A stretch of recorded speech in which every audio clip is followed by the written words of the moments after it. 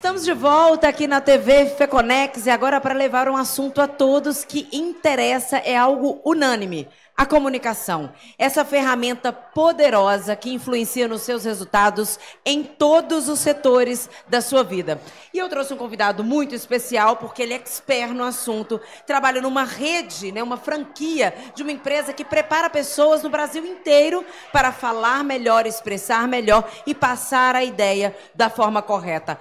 Cleiton Matiolo, diretor da Vox to You, bem-vindo. Tudo bem? Um prazer enorme ter você prazer aqui. Prazer é meu, obrigado pelo convite. E estar na FECONEX já é uma honra, né? E com ainda certeza. participar desse evento com você, mais ainda. Ó, para mim é uma felicidade enorme, Cleiton, porque esse é o assunto que eu de fato amo. A comunicação é a maior ferramenta, é a mais poderosa na nossa vida. Para as relações, para o autoconhecimento, né? Porque para conversar, para se expressar com o mundo, a gente precisa se conhecer. É muito importante a comunicação nos negócios, na família, na educação dos filhos. E eu queria conhecer um pouquinho sobre as suas ideias, né, de como a gente pode aprimorar a comunicação. E queria que você explicasse isso para a gente. Qual que é o primeiro passo para ter uma comunicação eficaz em todos os setores da nossa vida? Bom, Poliana, primeiro que a oratória, a comunicação é uma soft skill, né? As chamadas soft skills, habilidades comportamentais, e é uma habilidade treinável. Primeiro que a pessoa entende que é possível treinar, possível se desenvolver para melhorar as habilidades. E, como você falou, a, a comunicação ela está presente em todos, todos os momentos. Não só ah, para quem usa isso como uma ferramenta de trabalho, né, que é o seu caso, mas a gente utiliza isso o tempo inteiro nos relacionamentos, desde que acorda, com filhos, com esposa, marido, ah, relacionamento com amigos. E nada melhor do que você ter ciência, conhecimento de qual é a técnica que você está utilizando para você conseguir fazer isso de maneira assertiva. Então, uhum. Por que uma escola de comunicação e oratória? Para dar consciência para que essa é uma habilidade que pode ser treinável, treinável desenvolvida e quem treina, faz melhor, né? É, porque todos nós, na verdade, somos comunicadores. Eu já ouvi muitas pessoas falando, ah, investir em comunicação, eu não trabalho com isso, eu não sou comunicador, não sou apresentador. Mas, mas você precisa vender um produto, um serviço, você precisa apresentar uma ideia, participar de reuniões de trabalho, educar o seu filho com os argumentos certos, no tom certo, até porque para cada relação existe um tom e um ritmo. A gente não conversa com o marido do jeito que a gente conversa com o chefe e assim como a gente conversa com o filho. Para cada interlocutor, existe um modo de comunicar. Exatamente. 7% da nossa comunicação ela é verbal. 7. 93% faz parte da comunicação não verbal. E desses 93%, né, 38% é tom de voz. Então, quer dizer, a intensidade, o ritmo, o volume que a gente expressa na hora de, de se comunicar, ele também está falando algo. Né? Então, uh, palavras, sim, 7% elas são verbalizadas, mas os outros 93% é o nosso corpo, os, as mãos, a, o volume, a intensidade. E ter consciência de que isso também tem uma, uma forma poderosa de se comunicar é, é muito importante. É um contexto. Porque o, o é, o, o gritar, né, o falar muito alto, ou sussurrado demais, ou fazer uma palestra, por exemplo, sempre no mesmo tom, fica cansativo. Exatamente. Usar, usar muito da modulação vocal, ele te dá intensidade, te dá convicção, muitas vezes é o, é o, é o pequeno detalhe que um volume de voz vai fazer com que a pessoa seja convencida numa negociação, por exemplo. Mas a maioria das pessoas não observa esse, esse aspecto importante da comunicação e o quanto ela pode ser mais poderosa se ela for bem treinada. Muitas pessoas pensam que isso não faz a menor diferença. Mas faz. Faz muita. Você acabou de fazer aqui. Dar ênfase a uma, a uma expressão, falar de forma assertiva, com convicção naquilo que está falando, quando você está impostando a voz com convicção, você gera confiança. Você está transmitindo que você domina aquele tema ou aquele assunto, ou está convicto de que aquela mensagem que você quer passar realmente vai ser entendida do outro lado. E a comunicação é muito comportamental também, né? É porque se você pensar que as pessoas primeiro elas vão te olhar. Existe uma comunicação não verbal ali que é a sua imagem, né? Uma comunicação visual. Você causa um primeiro impacto. O comportamento, eu acredito que é a segunda, o segundo aspecto mais observado, como você se comporta, a sua postura, a forma que você trata as pessoas, tudo isso comunica, tudo isso informa algo. E eu acredito que por último vem o discurso. Exatamente. Para você é nessa ordem? É nessa ordem. Os primeiros três segundos, a pessoa vai tirar um, um raio-x um raio -x inicial da pessoa. Bom, como é que ele está chegando? Eu estou entrando na sala, eu estou tranquilo, estou fazendo uma, uma, uma estou visualizando a pessoa, estou fazendo um contato visual, estou entendendo quem é que está do meu lado. Sendo simpático ou empático, mas principalmente simpático, vai gerar uma, uma, uma primeira empatia. Então, a minha primeira impressão realmente é aquela que fica naquele primeiro momento, os três primeiros segundos. Depois, como eu me comporto tradicionalmente? Eu sou dessa forma o tempo todo, para quem me conhece, eu, sou, eu, sempre transmito esse, esse mesmo comportamento. E depois a, a parte oral, a parte como, como eu vou falar, como é que eu vou me comunicar.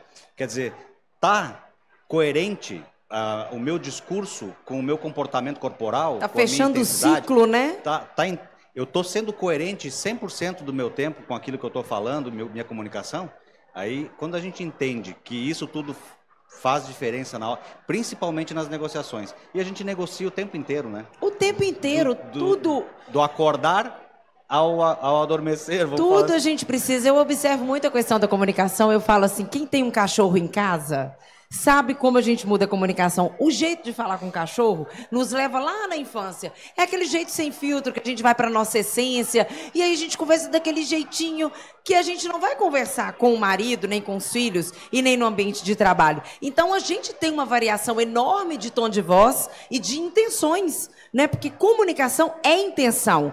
Onde você quer chegar com essa fala? Onde você quer chegar com esse comportamento? E se as pessoas aprendem a somar esse, esse conjunto né, de imagem, comportamento e oratória, o sucesso ele fica mais próximo. Com certeza. E tem uma coisa que chama muito a atenção do pessoal, que às vezes as pessoas enxergam uma pessoa que se comunica bem, fala bem, e ela fala assim: "Ah, esse cara tem o dom. Ele ele tem o dom da palavra, ele não precisa aprimorar mais nada, porque ele já está pronto". Mário Sérgio Cortella, em algum momento ele fala o seguinte, que ele fica extremamente irritado quando alguém fala que ele tem o dom da palavra. E eles, pô, eu tô há mais de 60 anos no banco de escola, ou como aluno, ou como professor, ou como palestrante, ou ouvindo outras palestras, se preparando para alguém depois chegar e dizer assim, você tem o dom. Nasceu não, pronto, ninguém não, nasce não. pronto. É preparo, é realmente é se dispor a evoluir. Então, um curso de oratória não é uma coisa banal, não uhum. é uma uhum. coisa é, ah, é secundário. Não, deveria ser uma prioridade.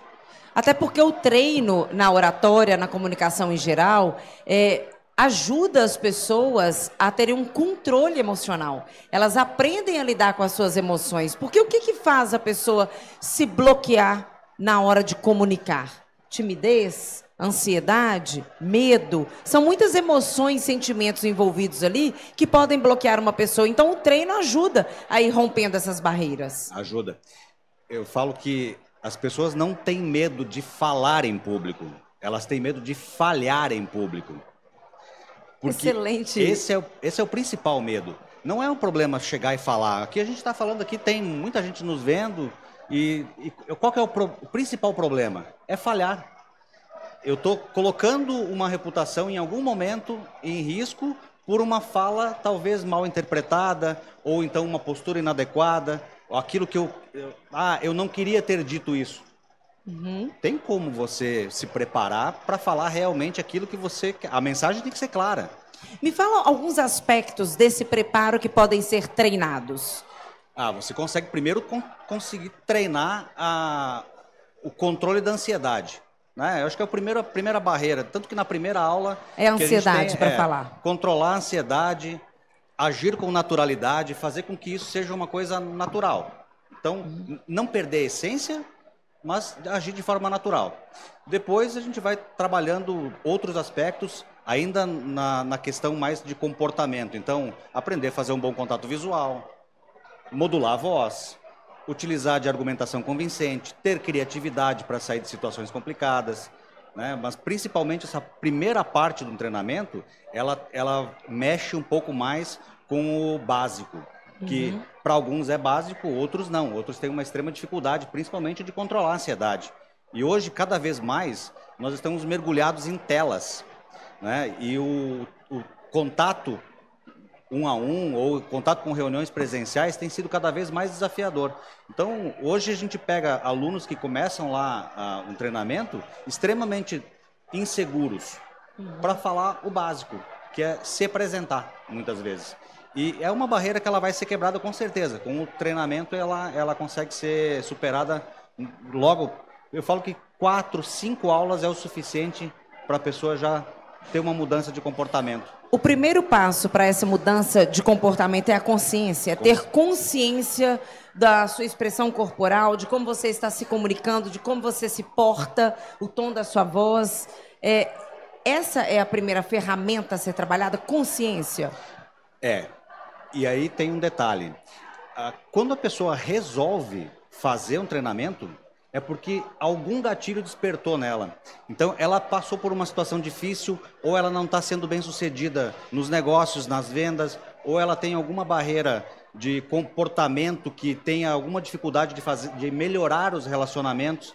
Então, sempre tem uma, uma, um primeiro gatilho de, de dificuldade que tenha passado, para depois ela ter consciência que ela precisa mudar. E aí, lógico, aí a partir do momento que ela tem consciência, dá para treinar todos os pontos, né? Tanto a parte de mais, mais corporal do início até técnicas mais avançadas, incluindo técnicas de PNL, de coaching. O que, que cabe treino? Por exemplo, vou te falar alguns exemplos de falta de comunicação, em que as pessoas têm muita dificuldade e você, se for o caso desse treinamento, você vai falar: treino. Tenho dificuldade é, em conversar com os meus filhos. Tem, tem como fazer. Eu tenho dificuldade em expor o que eu sinto para o meu parceiro. Também. Na hora da reunião do trabalho, eu vou falar da minha ideia e me bloqueio. É a famosa organização de ideias, né? Eu quero falar e alguma coisa me trava.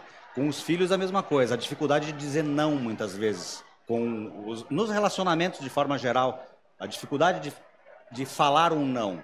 Mas eu consigo, Mas... nesse treinamento, trabalhar a vida pessoal e profissional? Você não, não dá para separar uma coisa da outra. Eu acho assim, é o seguinte: se você está preparado para enfrentar situações particulares, você consegue enfrentar situações no, no, ambiente de trabalho. Eu não consigo entender que dá para dividir essas duas coisas. Eu acho que é uma coisa só. Você muda o teu comportamento. Ele vai mudar na tua Muda vida. o comportamento, muda a comunicação. Exatamente. É, o fato de você ter mais segurança naquilo que você está passando vai te dar segurança para melhorar os seus relacionamentos de interpessoais, no, no, teu, no teu círculo de amizades ou de relacionamentos amorosos, por exemplo, com filhos também, ou então nos seus relacionamentos de trabalho, nos porque negócios. Se, porque se te gera autoconfiança, você começa a treinar a sua comunicação. A comunicação te gera autoconfiança através da prática, do treino e da consciência. Você com certeza vai expandir essa comunicação em outros setores da sua vida. Com certeza. Quem treina, faz. A gente já não fala que um jogador de futebol fica uma semana inteira treinando para chegar no final de semana e jogar, jogar uma partida de 90 minutos? Ele está treinando, ele está dentro de um espaço controlado para treinar. Para treinar. Uma escola de oratória é a mesma coisa, é um CT. Ele vai treinar as habilidades dele para que isso tenha, chega no final ou na hora que ele vai se apresentar, hora que ele precisar utilizar dessa ferramenta, dessa, dessa habilidade comportamental, ele tenha segurança do que ele está fazendo. Agora me fala sobre essa escola de oratória, Vox to You, por que o nome? Primeiro, voz para você, né? Então é dar do voz, lado. realmente, deixar com que a pessoa utilize a voz, que é uma poderosa ferramenta para tudo, para negócios e para a vida pessoal. Você não consegue ver uma pessoa bem sucedida que não se comunique bem. Pode até tentar fazer, mas a dificuldade é bem maior.